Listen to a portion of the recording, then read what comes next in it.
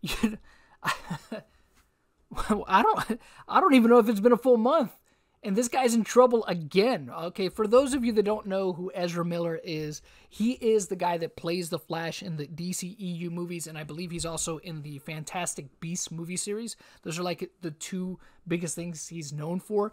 But he's been getting in a lot of trouble as of late. Uh, last month, I think it was, he was at a bar, at a karaoke bar, when he got into trouble and got arrested for like disorderly conduct and stuff. He has been accused of threatening people in the past, you know, with offing them and stuff like that, allegedly. And if you guys remember, it was about, I think it was about two years ago, one or two years ago, where he was in Iceland and outside of a bar there. I don't know if he ever got in trouble for that, but he had uh, seemingly accosted a woman. Now, that's one that's actually on video where he grabbed a woman after he was outside the bar. I think he was probably a little bit inebriated. Not that that would make it any better, right? Not that that would excuse his behavior, but he grabbed the woman and then he like pulled her to the ground. You know, at, at the very least inappropriate to do, regardless of what the situation was. If she was just, um, you know, jeering at him or whatever. You know, fans could be obnoxious sometimes too. I get that, but you know that doesn't give you the right to put your hands on anybody. And now we have this instance, right, where you see this article from Hawaii News Now. I'll go ahead and link in the description below for those of you that want to read it for yourselves, where it says the Flash star Ezra Miller arrested again in Hawaii for alleged assault. So it says uh, Pahoa uh, Ezra Miller, known for playing the Flash, was arrested for second degree assault early Tuesday uh, following an incident at a Pahoa home, Hawaii County Police said. It's the latest in a string of negative headlines involving the star. Hawaii Island Police said Miller was taken into custody about 1:30 a.m. Tuesday. Uh, police said Miller allegedly became irate when asked to leave an acquaintance home and threw a chair at a woman. That that's wild, right? Uh, the 26-year-old victim reported a half-inch cut to her forehead. Miller was arrested following a traffic stop at the intersection of Highway 130 at Kakula Street. Police said the star was subsequently released pending further investigation. Miller has played the Flash in several movies, but has more recently grabbed attention for his erratic behavior. Last month, Miller was arrested after allegedly ripping a microphone out of a woman's hands and lunging at a man playing darts at a Hilo karaoke bar.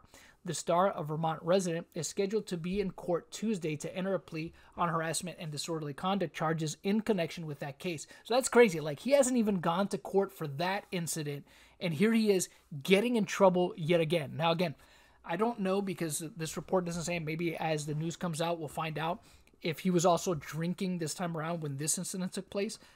Not not that I'm saying that that would excuse anything. That's still whether sober or inebriated, not not good not good, right? And it seems like his behavior is escalating. This guy has either some serious anger issues when he's sober, or it is just a, I mean, what? How else can you say he's just a violent drunk?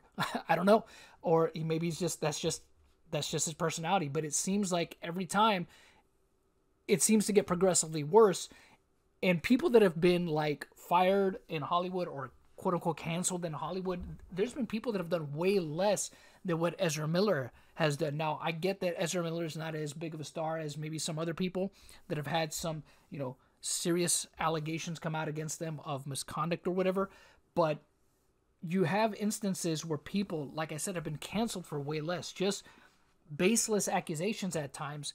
And here you have Ezra Miller, who somehow never really seems to suffer any kind of repercussions over his actions, which I find interesting. Now, this could be due to his um, you know what what he identifies as and for those of you that don't know i believe he identifies as as queer so maybe that's why he hasn't suffered any repercussions maybe they're afraid that if they fire him or or do anything like that you know that they'll that uh, Ezra Miller will potentially use that against and say hey you know I'm I'm being I'm being discriminated against because I'm a part of the LGBTQ uh, community. Maybe they're afraid that that's what's going to happen. I don't know. Can't say for sure. But um, I find it interesting that a lot of mainstream media outlets don't really talk about him all that much. They don't really um, spotlight. I mean, some do. Don't get me wrong. Some, and I'm sure now it's getting to that point where you can't really avoid it all that much anymore. But when he had that incident in Iceland, right?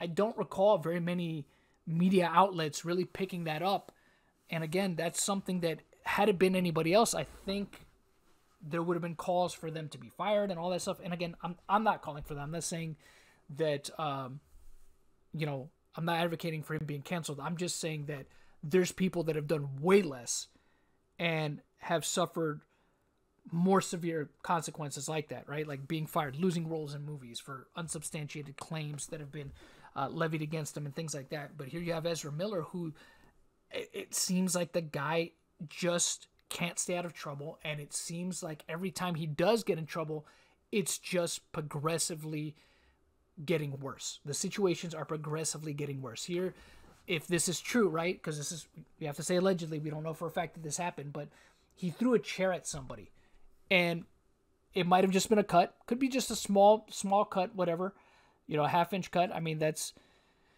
that, that, that can still be pretty deep, but you don't know if this woman was concussed after the fact. I mean, I guess we'll find out. I mean, who knows what could have happened though, right? If he had hit this woman at, at such an angle and depending on the chair weight and how he threw it, what if what if it if she suffered more than just a cut, right?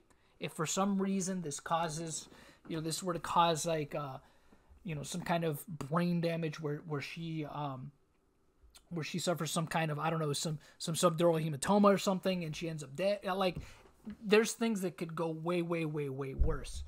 And when you see an instance like this where the guy is like he has these violent outbursts and it's seemingly over nothing uh, or or if he was just told to leave i mean granted they could have been already in an argument maybe it's possible that um, things got physical before that. Who knows? But I don't know. I, I given the trouble he gets in and the the accounts of witnesses, and again, if you see the video of him in Iceland, he seems like the kind of guy that has no problem being very hands on, especially when he's upset. So take that for what it is. Again, I don't know Ezra Miller personally, but it just seems like when you see the situations he's been involved in, the reports. And again, if you see the video of him in Iceland, it wouldn't surprise me to learn that he's just a guy that is a, a hothead, right? He, he seems that way for sure. And these situations just reaffirm that. Every time I hear about him getting in trouble, it just seems to reaffirm the fact that the guy has some serious anger issues. And it's only going to be a matter of time, I think, until he really, really, really hurts someone. So we'll see what uh, happens. We'll see if he still gets to keep his jobs after this. Maybe this will be the the straw that breaks the camel's back. But um, yeah, we'll just have to wait and see. Let me know what you all think about this in the comment section below. Until next time, y'all know how it goes. I'll catch you all on the next video.